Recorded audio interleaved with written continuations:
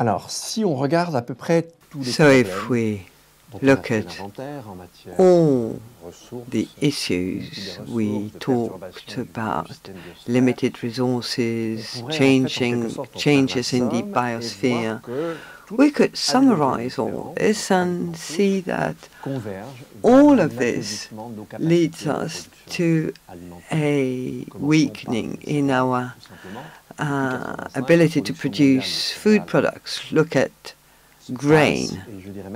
It's plateauing, and since 2000, 2005, it even decreases slightly. So that's probably one of the first consequences of climate change.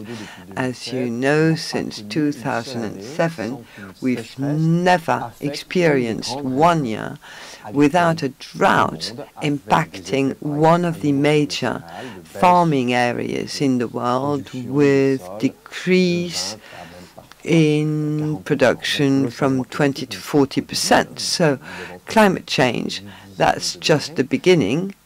And we expect that temperature is going to increase even more, but we already experience the consequences on the worsening of our production capacity.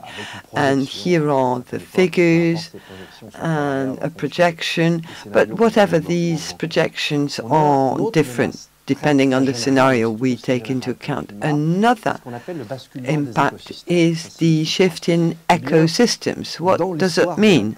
In the history of the planet, when for natural reasons and over longer periods than what we are currently experiencing, when for natural reasons half of the global ecosystems were modified, the other half uh, did not remain like this. They also changed. And we've already artificially modified 43% of emerged surfaces to feed 8 billion people, we will exceed 50%.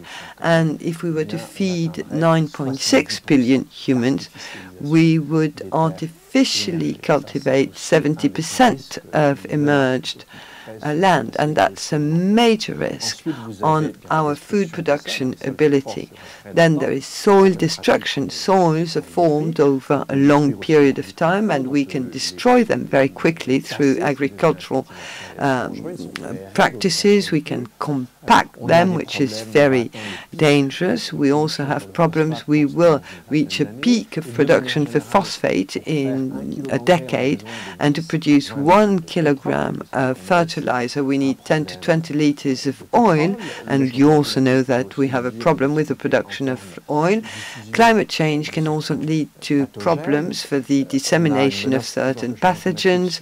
Climate change creates uh, a, a problem for the rainfall regime. So we're faced with a large number of difficulties. And one of the most important difficulty is that the genetic uh, legacy of cultivated plants has been reduced for industrial reasons. And all this leads to a weakening of our global ability to produce food.